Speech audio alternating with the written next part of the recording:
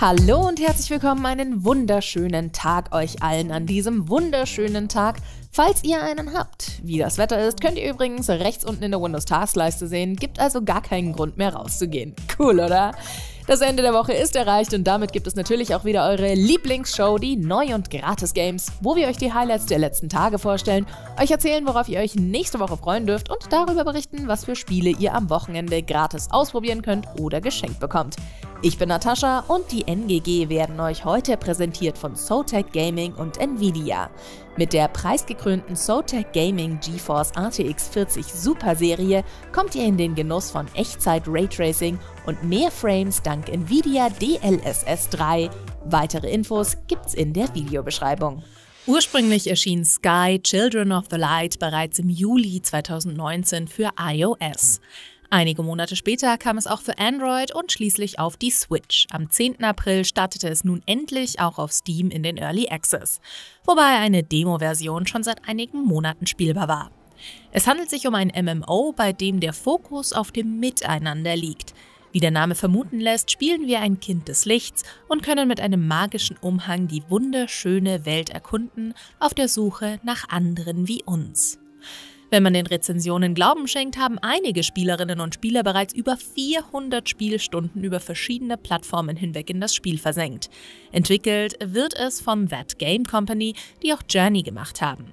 Auf Steam sind die Bewertungen sehr positiv. Gelobt werden neben der Atmosphäre und der Musik auch die wunderschöne Grafik und vor allem das Gefühl, das das Spiel vermittelt. Ziemlich überraschend ist ebenfalls am 10. April außerdem Lysara Summit Kingdom in den Early Access gestartet. Hier siedeln wir an den Hängen eines fernöstlichen Berges und bauen Warenketten auf, um insgesamt drei verschiedene Einwohnerklassen zu befriedigen. Dabei müssen wir geschickt die Vorteile jeder Höhenregion nutzen und effiziente Transportwege aufbauen, denn im Himalaya ist der Platz knapp. Um am Ende das ersehnte Mönchskloster auf der Bergspitze zu errichten, braucht es daher etwas Geduld und Überlegung. Für reine Schönbauer ist Leisara also eher nicht gedacht, wobei die Siedlungen im Spiel trotzdem richtig hübsch anzusehen sind. Wem bei Warenketten und Management die Alarmglocken schrillen, keine Panik. Leisara ist dabei nämlich absolut kein stressiges Spiel. Durchaus ein bisschen fordernd, dank einer Pausenfunktion, haben wir aber alle Zeit der Welt. Mehr Infos zu Lysara Summit Kingdom haben wir in einem eigenen Early Access Fazit-Video für euch. Den Link dazu findet ihr in der Videobeschreibung. Am Mittwoch lag offenbar irgendwas in der Luft, denn auch dieses dritte Highlight im Bunde ist am 10. April erschienen. Underspace ist in den Early Access gestartet. Es bezeichnet sich selbst als geistigen Nachfolger von Freelancer mit einem Lovecraftian Sandbox-RPG-Twist. Während andere Spiele damit werben, dass ihre Welten komplett zufallsgeneriert sind, verkündet Underspace stolz, dass jedes der 114 Sternensysteme von Hand gebaut sind. Alles ist Open World und die Beschleunigungswege sind die einzige Möglichkeit, sich schnell durch die Galaxien zu bewegen. Aktuell hat das Spiel 16 Missionen in der Hauptquest, was uns so 12 bis 15 Stunden beschäftigt, sowie 45 Nebenquests. Im Laufe der Zeit soll auch noch ein PvP- und Koop-Multiplayer kommen. Dieses Mal habe ich ein paar besonderere Highlights für euch ausgesucht, wie ihr seht. Zu Lysara gibt es übrigens auch einen ausführlichen Test vom Kollegen Rainer Hauser auf GameStar Plus. Den verlinke ich euch natürlich auch sehr gerne in der Videobeschreibung. Was war euer Highlight letzte Woche? Schreibt es mir mal in die Kommentare. Den Anfang macht Harold Halibut. Das Side-Scroll-Adventure stammt vom Kölner Entwicklungsstudio Slow Bros und lässt sich am besten als spielbarer Stop-Motion-Film beschreiben. Wir begleiten Harold, der sich in einer äußerst skurrilen Situation befindet. Denn wir befinden uns auf einem Raumschiff, das nach einem Absturz schon seit rund 250 Jahren auf dem Grund eines außerirdischen Ozeans befindet und längst zu einer neuen Heimat für eine ganze Menschenkolonie geworden ist.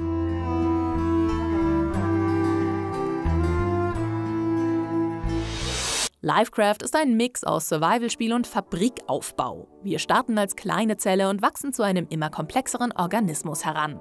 Dazu bauen wir biologische Versorgungsketten und Automatisierungen auf, müssen aber auch Viren und Bakterien abwehren.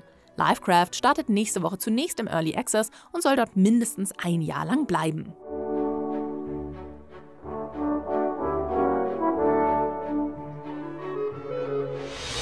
Grounded gehört zu den großen Microsoft-Exklusivtiteln, die endlich auch für PlayStation und Switch erscheinen. Passend dazu kommt dann auch das finale Update Fully Yorked heraus, das unter anderem neue Waffen, einen New Game Plus-Modus und weitere neue Inhalte und Verbesserungen liefert. Außerdem wird Crossplay zwischen allen Plattformen möglich sein.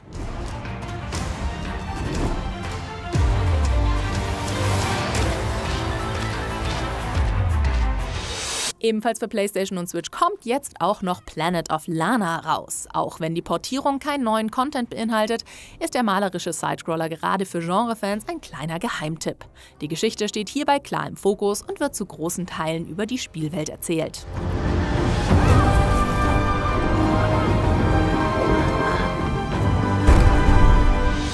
Und weil es so schön ist, gibt's mit Dave the Diver nächste Woche gleich noch eine Portierung, dieses Mal aber nur für die PlayStation. Dafür landet der Indie-Hit aber auch gleich im PlayStation Plus Spielekatalog für Extra- und Premium-Abonnenten. Das war's aber noch nicht, denn kurze Zeit später soll auch noch ein kostenloser Godzilla-DLC erscheinen. Der kommt dann aber natürlich auch für alle anderen Plattformen.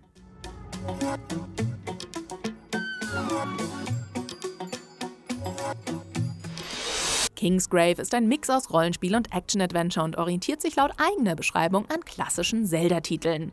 Es wird gekämpft und erkundet, wir müssen Rätsel lösen und Ressourcen sammeln und wir können nach und nach sogar die zerstörten Dörfer der Spielwelt wieder aufbauen. Neue Fähigkeiten schalten dabei ähnlich wie in einem Metroidvania neue Wege und Gebiete in dem Fantasy-Königreich frei.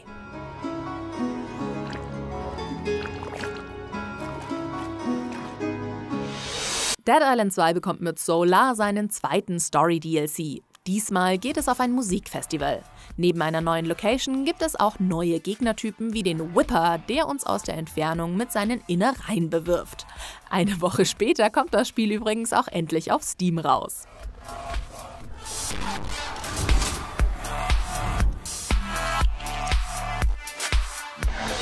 Blutig geht's weiter, denn Skir Ritual verlässt den Early Access. Das Multiplayer-Spin-off zum Horrorspiel Made of Skir orientiert sich stark am Zombie-Modus von Call of Duty und kommt nächste Woche auch gleich noch für Konsolen raus. Crossplay wird es dabei aber leider nur zwischen Xbox und PC geben.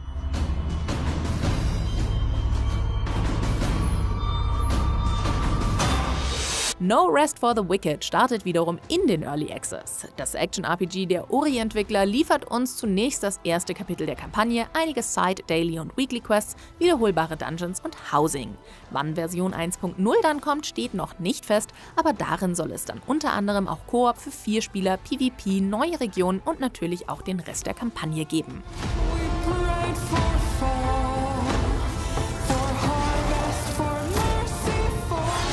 Deutlich strategischer geht es in Nexus 5X zu. Das Strategiespiel startete letztes Jahr unter dem Namen Stellaris Nexus in den Early Access, wurde inzwischen aber umbenannt. Nexus ist ein rundenbasiertes 4X-Spiel, das ihr alleine oder im Multiplayer mit bis zu 8 Spielerinnen und Spielern erleben könnt. Die Besonderheit ist hier vor allem, dass eine Spielsitzung nur 60 Minuten dauert.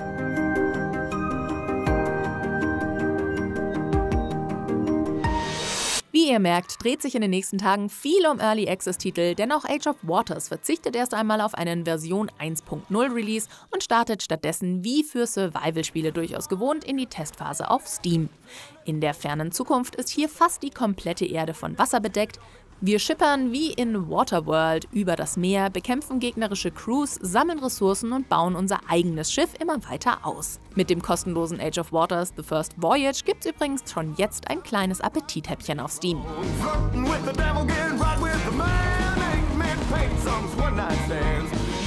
Arc Runner schmeißt Third-Person-Shooter und Roguelike in einen Topf und lässt uns alleine oder im Koop eine schier unbändige KI bekämpfen. Wir haben die Wahl zwischen den Klassen Ninja, Hacker und Soldat, die verschiedene Spielstile versprechen. Die Areale werden dabei genretypisch bei jedem Durchlauf neu zusammengesetzt.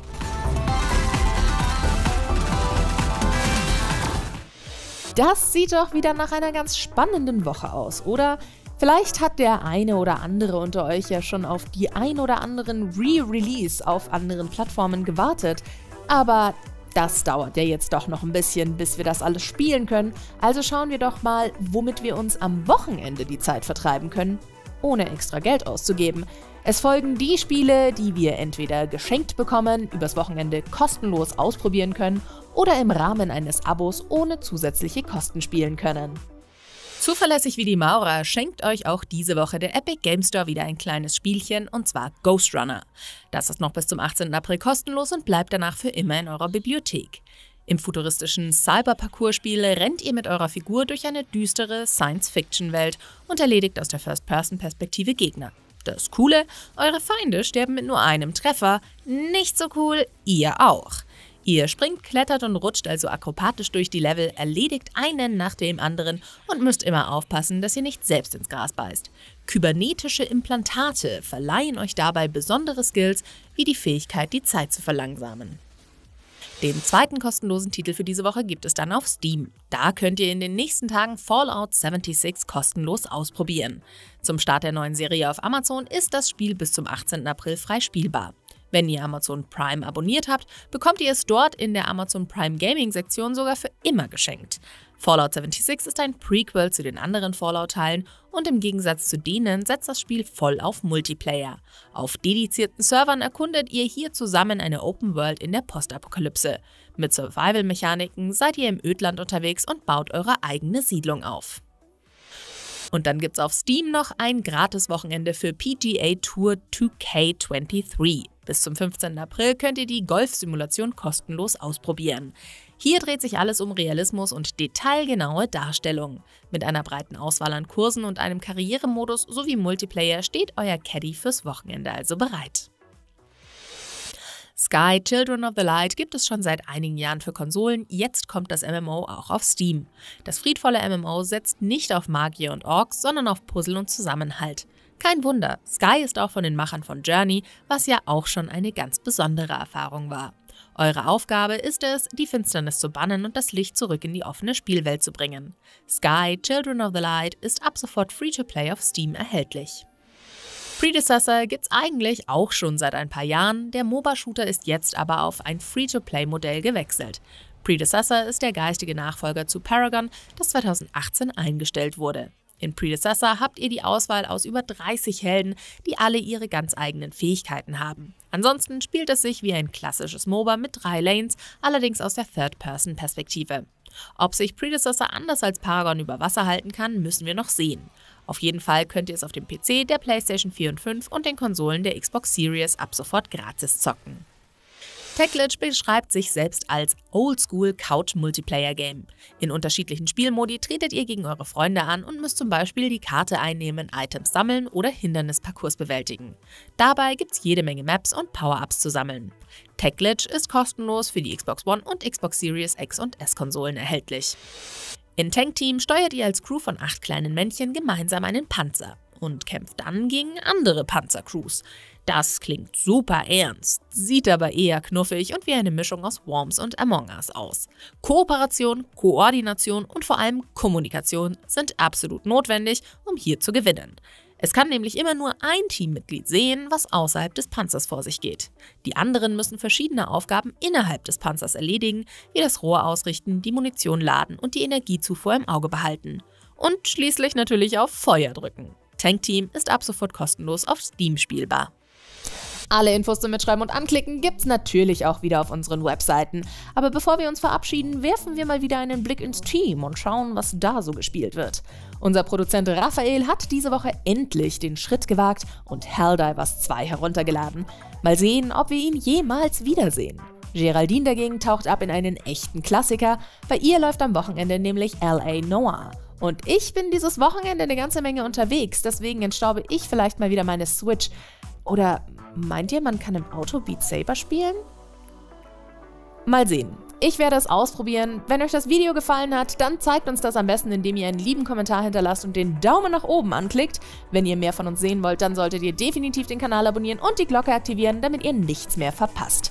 Dann solltet ihr nämlich immer direkt Bescheid bekommen, wenn wir was Neues hochladen, wie zum Beispiel unsere tägliche News-Sendung oder dieses Video hier, das ich nur für dich ausgesucht habe. Am Montag begrüßt euch hier wieder unser ostfriesisches Lockenwunder Paul mit den News. Bleibt mir also nichts weiter, als euch ein wunderschönes Wochenende zu wünschen. Ganz viel Spaß und guten Loot.